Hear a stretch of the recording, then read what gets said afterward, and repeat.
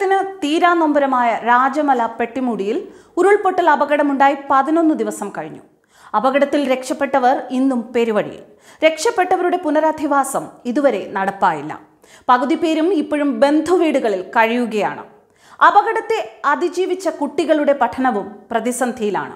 ഉരുൾപൊട്ടൽ ദുരന്തത്തിൽ നിന്നും രക്ഷപ്പെട്ട പെട്ടിമൂടിയിലെയും തോട്ടപ്പുറത്തെ രാജമലയിലെയും നാൽപ്പതോളം കുടുംബങ്ങളെയാണ് പുനരധിവസിപ്പിക്കേണ്ടത്.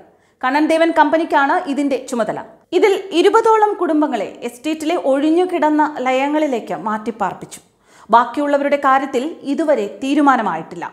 ഇവരിൽ ഭൂരിപക്ഷവും ഇപ്പോഴും കഴിയുന്നത് ബന്ധുക്കളുടെ ലയങ്ങളിൽ. നാലും അഞ്ചു പേർ കഴിയുന്ന ഒറ്റമുറി ലയങ്ങളിലേക്ക് കൂടുതൽ പേർ എത്തിയതോടെ നിന്ന് തിരിയാനാകാത്ത സ്ഥിതി. മൂന്നാറിലെ സർവശിക്ഷ അഭിയാന്റെ കണക്കനുസരിച്ച് ഇരുപത്തിയാറ് കുട്ടികളാണ് ഉരുൾപൊട്ടൽ അപകടത്തിൽ നിന്നും രക്ഷപ്പെട്ടത്. പക്ഷേ ഇവരുടെ പുസ്തകങ്ങളും പഠനോപകരണങ്ങളുമെല്ലാം മലവെള്ളപ്പാച്ചിലിൽ നഷ്ടമായി. ഓൺലൈൻ പഠനം ഇവർക്ക് പ്രതിസന്ധിയിലാണ്. ഇവർക്ക് കൗൺസിലിംഗ് നൽകണമെന്ന് ആവശ്യപ്പെട്ട് എസ് എസ് കെ ജില്ലാ ലീഗൽ സർവീസ് സൊസൈറ്റിക്ക് കത്തയച്ചു. ഒപ്പം തുടർ പഠനത്തിനുള്ള സൗകര്യങ്ങൾ ഒരുക്കണമെന്ന് ജില്ലാ ഭരണകൂടത്തോടും ആവശ്യപ്പെട്ടു. ഈ മാസം ആറാം തീയതി രാത്രിയോടെയായിരുന്നു പെട്ടിമുടിയിൽ പ്രകൃതി ദുരന്തം സംഭവിച്ചത്. അപകടത്തിന് ശേഷം ദിവസങ്ങളായി തിരച്ചിൽ തുടരുകയാണ്. പുഴ കേന്ദ്രീകരിച്ചാണ് ഇപ്പോൾ പ്രധാനമായും അന്വേഷണം നടക്കുന്നത്. മൃതദേഹങ്ങൾ ഒലിച്ചു പോയിരിക്കാൻ സാധ്യതയുണ്ട്. അതിനാലാണ് പുഴകളുടെ പരിസരത്തും മറ്റ് സമീപ സ്ഥലങ്ങളിലും തിരച്ചിൽ ശക്തമാക്കിയത്.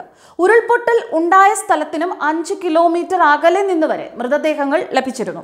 നിമിഷ നേരം കൊണ്ടാണ് കുറെ പാവപ്പെട്ട മനുഷ്യരുടെ കിടപ്പാടമെല്ലാം മണ്ണിനടിയിലായത്.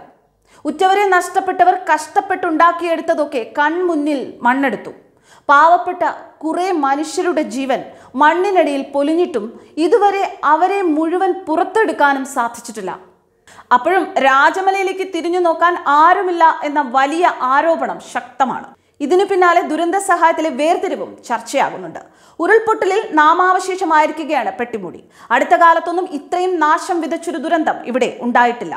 മൂന്നാറിൽ പ്രദേശത്ത് പത്തടി ഉയരത്തിൽ വരെ മണ്ണ് മൂടിയിട്ടുണ്ട്. പലയിടത്തും വമ്പൻ പാറകൾ വന്ന് അടിഞ്ഞിരിക്കുകയാണ്. ഇതും തിരച്ചിലിനെ ബുദ്ധിമുട്ടിലാക്കുന്നുണ്ട്. മണ്ണിനടിയിൽ നിന്ന് ജീപ്പുകളുടെയും കാറുകളുടെയും ഇരുചക്ര വാഹനങ്ങളുടെയും അവശിഷ്ടങ്ങളും ലഭിച്ചു. മ്ലാവ് ഉൾപ്പെടെ വന്യമൃഗങ്ങളുടെയും വളർത്തുമൃഗങ്ങളുടെയും ജഡങ്ങളും കാണപ്പെട്ടു. മരണം പെയ്തിറങ്ങിയ കനത്ത മഴയും തണുപ്പുമുള്ള രാത്രിയിൽ പലരും ഗാഠനിദ്രയിലായിരുന്നപ്പോഴാണ് ഉരുൾപൊട്ടലിന്റെ രൂപത്തിൽ ദുരന്തം ആർത്തലച്ചെത്തിയത്. വലിയ ശബ്ദം കേട്ടെങ്കിലും പലരും ഇതിനാൽ അറിഞ്ഞില്ല. അറിഞ്ഞ ഏതാനും പേർ തലനാരിഴയ്ക്കാണ് രക്ഷപ്പെട്ടത്. വൈദ്യുതിയും മൊബൈൽ നെറ്റ്വർക്കും ഇല്ലാതിരുന്നതിനാൽ വെള്ളിയാഴ്ച രാവിലെ ഏഴ് മണിയോടെയാണ് സംഭവം പുറം ലോകം അറിയുന്നത് തന്നെ. അതായത് ഏകദേശം എട്ട് മണിക്കൂറോളം കഴിഞ്ഞു. ഇതും മരണത്തിന്റെ എണ്ണം വർദ്ധിക്കാൻ കാരണമായി. അതേസമയം പെട്ടിമൂടിയിലെ തിരച്ചിൽ പതിനൊന്നാം ദിവസമായ തിങ്കളാഴ്ചയും തുടരും.